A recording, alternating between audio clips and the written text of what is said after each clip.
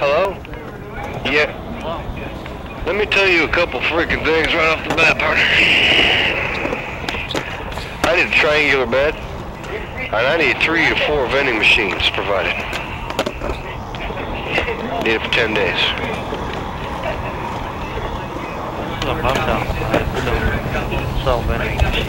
I don't want to buy any. It's about to work out fine, won't it? simply want to get some items that I need when I need them. My needs aren't met. My fists will be met. My job. How does that sound? How late